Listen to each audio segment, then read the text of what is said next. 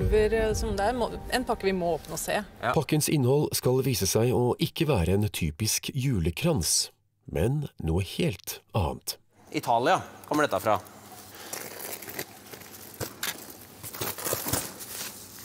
Ja. Det er ikke pizzakrydder. Det ligner jo på noe vi ser som det kommer en del av. Eh, DMT. DMT.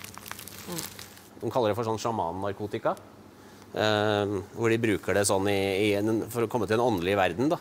DMT er, et, eh, er i utgangspunktet et plantemateriale. Et sånn barklignende eh, produkt.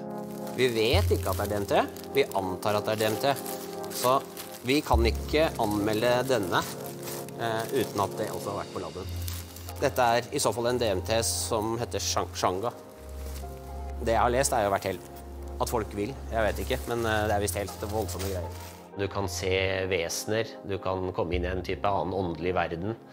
Nær døden-opplevelser. Du kan se mm, dimensjoner. er visst ganske kraftige eh, hallusinasjoner, da.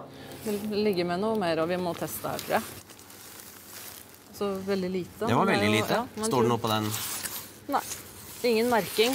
DNT kom jo i både strimla barktype form og som oppmalt pulver. Og her ser vi begge deler.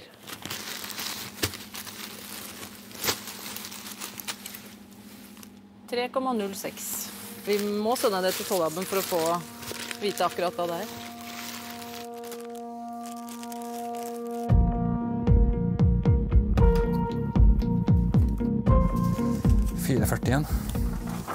Der er jo tre forskjellige prøver, da. Okay. På Tollaboratoriet er Gina og Harry i gang med å undersøke det mystiske beslaget fra Kai og Linda på gods.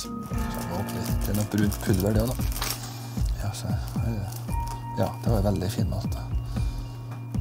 Det kan være plantebasert. Ja, det så veldig plantebasert ut? Ja, ja. Sånn, da. Tre der. Det, det kan jo være dette sånn der Wonderpack. Ja. God jul. Godt nyttår. Det er ikke tilfelle at det kommer samtidig. Nei, det tror ikke jeg heller. DMT i seg selv fungerer ikke alene. For at du skal få effekt av dette, her, så må du tilføre noe som heter hermin eller hermalin, som da gjør at kroppen klarer å ta opp DMT, sånn at du får en effekt. Da er det 3951 metanol og 4391 DCM i 106. 106, ja. Så nå kan du se at det står Q her, så bare sitter han og venter.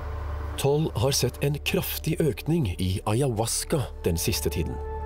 Bare fra 2018 til 2019 femdoblet beslaget av fast og flytende hallusinogener seg. Skal vi se Da var det den lyserosa barken fra gods. Og her får vi jo en kjempestor topp, som da er DMT, og det er jo narkotika. Ofte brukt i sånn ayahuasca til Eh, samme virkestoff.